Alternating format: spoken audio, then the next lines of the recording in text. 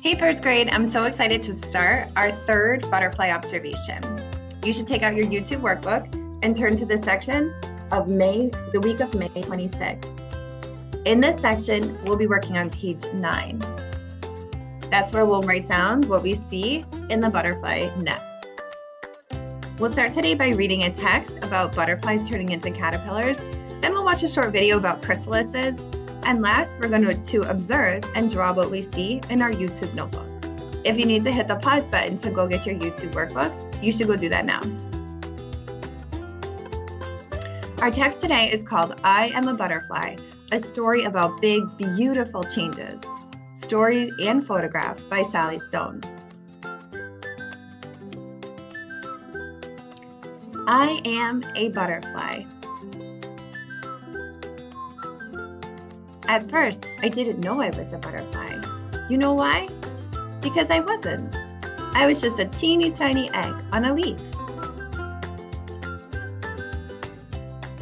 I sat there for a few days. Then I hatched, but I still wasn't a butterfly. Now I was a caterpillar, a squishy caterpillar with no wings at all whatsoever. That's just like our first observation. We never got to see our butterflies as eggs, but we did get to see them as caterpillars. I munched leaves and grew to be a big caterpillar. Then something really strange happened. I turned into this. I still wasn't a butterfly, obviously, but I wasn't a caterpillar anymore. Nope, now I was a chrysalis. And what's exciting is that's where our butterflies currently are, inside a chrysalis. So let's start listening carefully and noticing what is a chrysalis. Inside my chrysalis, it was really dark. I was scared at first. But then I relaxed in the soft, velvety darkness. I could feel myself changing. Then, one day, light came streaming through my chrysalis. I started to move. We're not sure exactly what happens next, but I think you probably have a prediction. We'll read the rest next week. But now we want to listen really carefully and understand more about what's happening inside a chrysalis. What would you do for the power to fly? How about shedding your skin and dissolving your own muscles? Now, believe it or not, that gruesome process is how caterpillars earn their wings. Here's what you might not know about what's inside a caterpillar's cocoon. Contrary to popular belief, this is not a cocoon. Only certain moths build cocoons, which are like a silky sleeping bag that covers the insect. This, on the other hand, is what's called a chrysalis. It's not a sac or a pouch, it's actually the caterpillar's own body.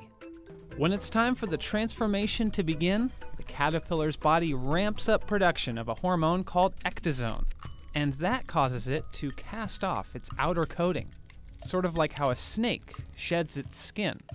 And underneath is a hard shell, similar to the exoskeleton of a beetle. After that, life for the little caterpillar gets oozy. First, it releases enzymes called caspases, these rip apart and dissolve cells in its muscles, digestive system, and other organs. But the enzymes don't quite liquefy all of the caterpillar. They leave key structures intact, like breathing tubes. At the same time, specialized cells called imaginal discs start waking up. Before the chrysalis stage, these discs were kept dormant by a series of hormones in the caterpillar's body. But once the transformation begins, those hormone levels take a nosedive, giving these discs the opportunity to do what they do best build a butterfly. You see, each disc contains the genetic recipe to form a different adult body part, starting from the inside out. After one week, the digestive system of the butterfly is well on its way. And by day 16, the adult's legs, wings, eyes, and mouth are all present and in working order. Now, two weeks is a remarkably short time for all of this to happen, since each imaginal disc starts out with only about 50 cells and must multiply those into thousands just to form a single wing. And if you checked out the chrysalis around day 16, you might even be able to see those brilliantly colored wings. Because for some species, their chrysalis turns transparent in their final days of metamorphosis. Now, fully formed, it's time to hit the road. The chrysalis splits open down the center and the butterfly escapes. Meanwhile, a reddish liquid spills out. That's all the waste the butterfly, nay, caterpillar, produced during its stay. Once its wings expand and harden, it's ready to mate, pollinate, and slurp nectar to its heart's desire. But one of the most interesting parts of all, research suggests that butterflies and moths can remember their caterpillar days. In one study, researchers trained moth caterpillars to associate an odor with an electric shock. So whenever the larvae smelled it, they'd move away. But even after they transformed into adult moths, they still avoided the scary smell. It makes you wonder what else they could recall from their younger days. So here are our butterflies. You can see in the butterfly net, which I have on my kitchen counter, this is the lid of the jar.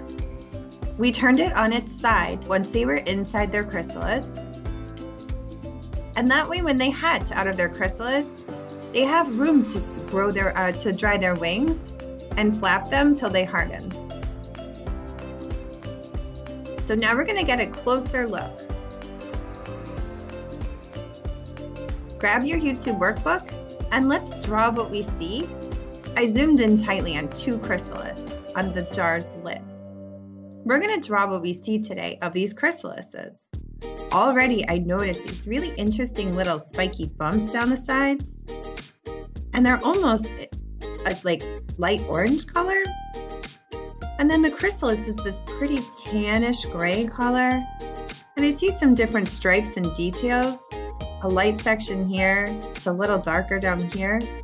These are all things that we can add to what we see for our observation drawing. I'm going to start by drawing the jar lid. I just made a big circle. Now I'm going to draw my two chrysalises. I'm drawing the little bumps down the side. I'm back up to the top. And then there's that little brown thing at the top. That's where part of their old body was before they shed their, right after they shed their skin. That helps them attach to the lid of the jar. It's part of their silk pad now. Now I'm adding some of those details that will help me color later. Some sections are a little lighter, some are a little darker, and some are kind of a lightish yellow-orange color. So I'll add those details into my picture so that when I add color, once this video is over, it'll be a little bit like coloring in a picture in a coloring book.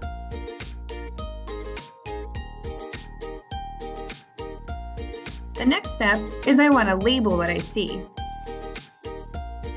Many of the words in the word bank we actually can't even use.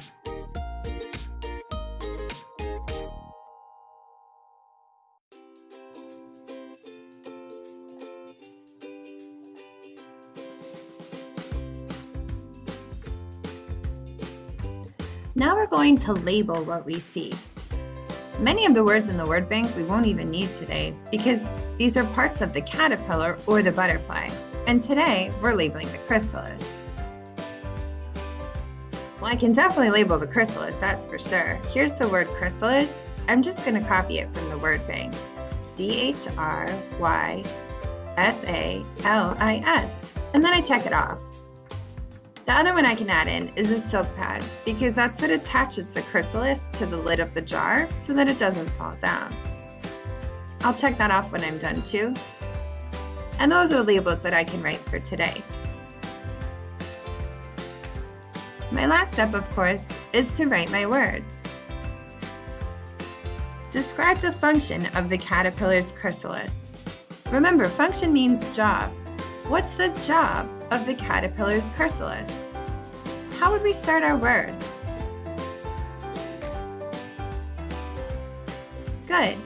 The function of the caterpillar's chrysalis is what? What does the chrysalis do for the caterpillar while it's changing? Start by writing the. That's a heart word, and I'm going to make it capital to begin. Functions in the question, so I'll just copy that down too. I notice the T-I-O-N ending. Now I write of and the. Those are two heart words as well. I check them off as I go. Caterpillars. Boy, that's a long word. Good thing I can just copy it from the question. I can't forget my apostrophe S at the end. Caterpillars. And there's the word chrysalis again.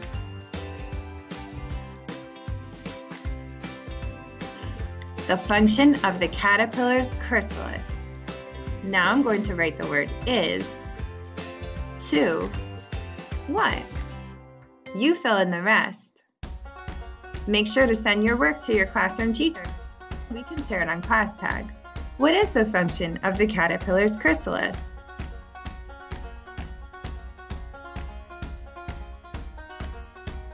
Can't wait to see you next time, first grade, for the super exciting changes that happen with our butterflies.